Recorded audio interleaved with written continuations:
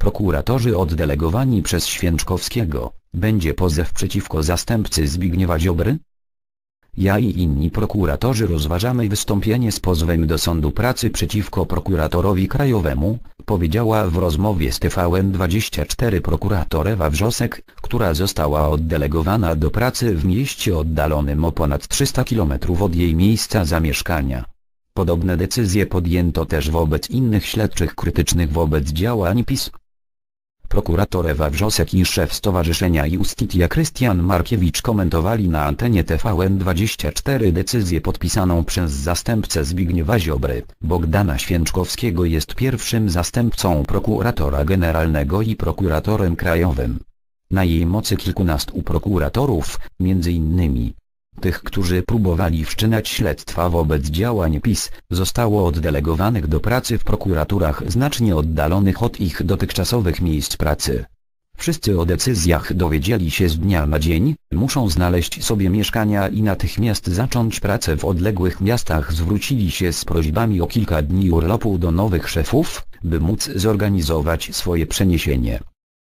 Oprócz prokurator Wrzosek to ona wszczęła śledztwo o sprawie wyborów prezydenckich, którą delegowano z Warszawy do Śremu 310 km. Wśród oddelegowanych prokuratorów są także szefowa, Lex Superomnia, prokurator.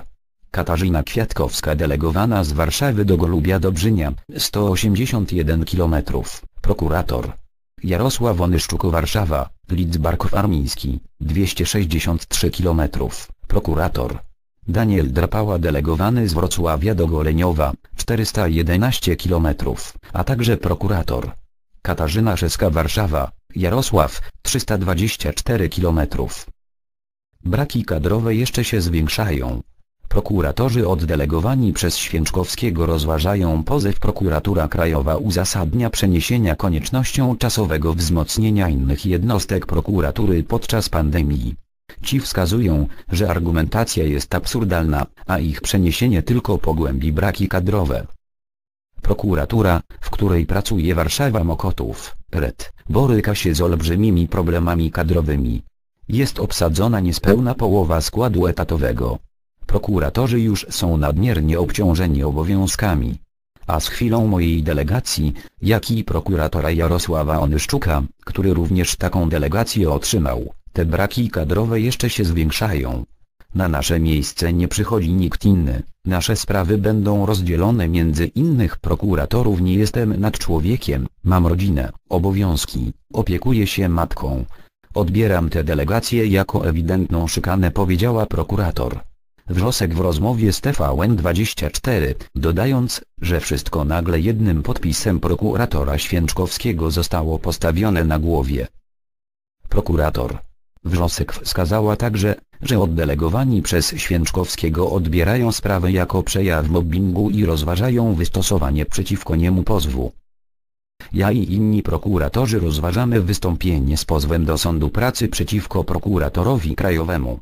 Jego działania odbieramy jako dyskryminację i mobbing. Ta droga prawna jest otwarta tak, jak dla każdego obywatela zapowiedziała. Wcześniej na antenie RMFFM prezeska, Lex Superomnia, prokurator. Katarzyna Kwiatkowska podkreśliła, że jej stowarzyszenie domaga się wyjaśnień od prokuratury krajowej. Będziemy występować do sądów pracy z pozwami o nierówne traktowanie, z wnioskami o wydanie zabezpieczenia, czyli zawieszenie przez sąd tych decyzji, dodała. Zobacz wideo.